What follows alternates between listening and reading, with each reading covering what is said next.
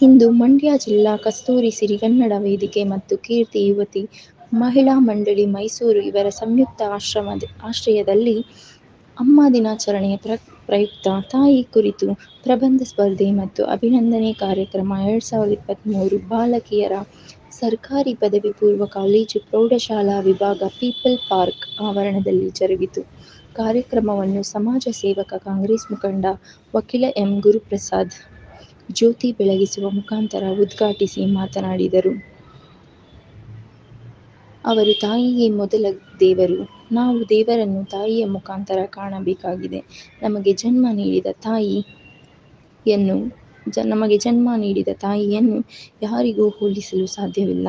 ತಾಯಿಯೇ ಮೊದಲ ಗುರು. ತಾಯಿಯ ಪ್ರೀತಿ, ವಾತ್ಸಲ್ಯ, ಮಮಕಾರದಿಂದ ಮಾತ್ರ ನಾವು ಮನುಷ್ಯರಾಗಲು ಸಾಧ್ಯವಾಗುತ್ತದೆ ಎಂದರು. ಅನೇಕ ಗಣ್ಯರು ತಾಯಿ ಕುರಿತು ಪ್ರಬಂಧ ಸ್ಪರ್ಧೆಯಲ್ಲಿ ಭಾಗವಹಿಸಿದ ವಿಜೇತರಿಗೆ ಬಹುಮಾನ ವಿತರಣೆ ಮಾಡಿದರು.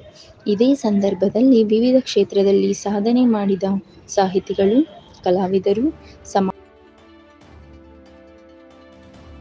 ಇದೆಯೋ ಮುಂದುವರೆದ ನಿಟ್ಟಿನಲ್ಲಿ ಪೋಷಕರನ್ನ ಮಕ್ಕಳು ಮರಿತಾ ಇದ್ದಾರೆ ಯಾವ ರೀತಿ ಮರಿತಾ ಇದ್ದಾರೆ ಅಂದ್ರೆ ಒಬ್ಬ ಮಗನ್ನ ಓದಿಸ್ಬೇಕಾದ್ರೆ ಅವ್ರ ತಂದೆ ತಾಯಿಗಳು ಕೂಲಿ ನಾಲಿ ಮಾಡಿ ಅವರು ತುಂಬಾ ಕೊಳಕಾದ ಬಟ್ಟೆಗಳನ್ನ ಹಾಕೊಂಡು ಜೀವನ ನಡೆಸಿ ಅವರು ಹೊಟ್ಟೆಗೆ ಊಟ ಮಾಡದೇ ಇದ್ರು ಕೂಡ ತಮ್ಮ ಮಗು ಚೆನ್ನಾಗಿರ್ಬೇಕು ಅಂತೇಳಿ ಉನ್ನತ ಮಟ್ಟದಲ್ಲಿ ಓದಿಸಿ ಬೆಳೆಸಿ ಅವರು ಹೊರದೇಶಕ್ಕೆ ಹೋದ್ಮೇಲೆ ಅವ್ರ ತಂದೆ ತಾಯಿಗಳ ಫೋನ್ ಸುದಾ ಅಲೋ ಮಾಡದೇ ಇರುವಷ್ಟು ಕಠೋಳ ಉದಯವಂತರಾಗ್ತಾರೆ ಆ ನಿಟ್ಟಿನಲ್ಲಿ ಈಗ ಏನಾಗಿದೆ ಅಂದ್ರೆ ಎಲ್ಲ ವೃದ್ಧಾಶ್ರಮಗಳು ತುಂಬಿ ತುಳುತ್ತಾ ಇದ್ದೇವೆ. ಸಿಟಿಲಿ ನೋಡ್ಬೋದು ನೀವು, ಒಂದೊಂದು ಏರಿಯಾಗ ಒಂದೊಂದು ವೃದ್ಧಾಶ್ರಮ ಇದೆ. ದಯಮಾಡಿ ಇನ್ನು ಮುಂದಿನ ಪ್ರಜೆಗಳಾದರೂ ಕೂಡ ನಿಮ್ಮ ತಂದೆ ತಾಯಿಗಳಲ್ಲಿ ಭಾರಿ ಪ್ರೀತಿಯನ್ನು ಇಟ್ಕೊಂಡು ಕನಿಷ್ಠ ಅವರಿಗೆ ನೀವು ಹಣ ಕೊಡೋದು ಬೇಡ, ಆಸ್ತಿ ಕೊಡೋದು ಬೇಡ. ಅವರ ಪ್ರೀತಿಯಿಂದ ವಾರಕ್ಕೊಮ್ಮೆ ಆದ್ರೂ ಎಲ್ಲೇ ಇರಿ, ನೀವು ಹೇಗೆ ಇರಿ, ಎಂದೆಂದೂ ಕನ್ನಡವಾಗಿರಿ ಅನ್ನುವಂತ ರೀತಿಯಲ್ಲಿ ಆ ಕನ್ನಡ ತಾಯಿ ಮತ್ತೆ ನಿಮ್ಮ ತಾಯಿಯಂದಿರನ್ನ ಮರಿಬೇಡಿ. ವಾರಕ್ಕೊಂದ್ಸರಾದರೂ ಬಂದು ಅವ್ರನ್ನ ನೋಡಿಕೊಂಡು ಅವರ ಕಷ್ಟ ಸುಖನ ವಿಚಾರಿಸಿ ನಂತರ ನೀವು ಹೋಗಿ ಈ ಉದ್ದೇಶಕ್ಕೋಸ್ಕರನೇ ನಾವು ತಾಯಿ ಕುರಿತು ಪ್ರಬಂಧ ಸ್ಪರ್ಧೆಯನ್ನು ಇಟ್ಟಿದ್ದೀವಿ.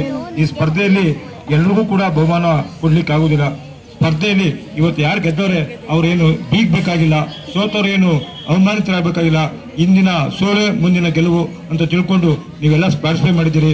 ನಿಮ್ಮೆಲ್ಲರಿಗೂ ಕೂಡ ನಮ್ಮ ವೇದಿಕೆ ಪರವಾಗಿ ಮತ್ತೊಮ್ಮೆ ಮಗದೊಮ್ಮೆ ಅಭಿನಂದನೆಗಳು. ನೀವು ಕೂಡ ಇನ್ನು ಮುಂದಾದರೂ ತಾಯಂದಿರ ಹುಟ್ಟುಹಬ್ಬ ಅಥವಾ ನಿಮ್ಮ ಹುಟ್ಟುಹಬ್ಬದ ದಿವಸದಿಂದ ಕೇಕ್ ಕಟ್ ಮಾಡೋ ಬದಲು ಒಂದು ಗಿಡ ನೆಡಿ.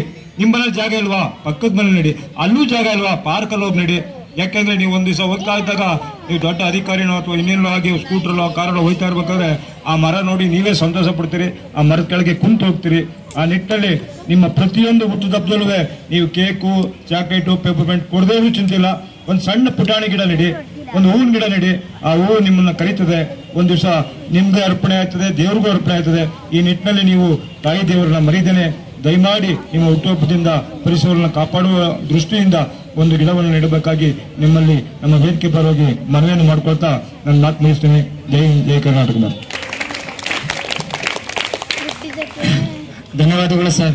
ಮಕ್ಕಳಿಗೆ ಈ ಸಂದೇಶ ಹೋಗ್ಲೇಬೇಕು. ಯಾಕೆಂದ್ರೆ ಮುಂದಿನ ದಿನಗಳಲ್ಲಿ ನಾವು ಏನು ಕೆಟ್ಟ ಗಾಳಿಯನ್ನ ಇವಾಗ ಸೇವನೆ ಮಾಡ್ತಾ ಇದೀವೋ, ಅದನ್ನೆಲ್ಲ ತೊಡೆದಾಕಬೇಕು ಅಂದ್ರೆ ನಾವು ಸಾಕಷ್ಟು ಸಸಿಗಳನ್ನ, ಹಸಿರು ಮಯವನ್ನಾಗಿ ಮಾಡಬೇಕು, ಗಿಡಗಳನ್ನ ನೆಡಬೇಕು ಅಂತ ಹಿತವಚನ ಹೇಳಿದಂತ ಶ್ರೀ ಪೋತೇರ ಮಹದೇವರವರಿಗೆ ಧನ್ಯವಾದಗಳು.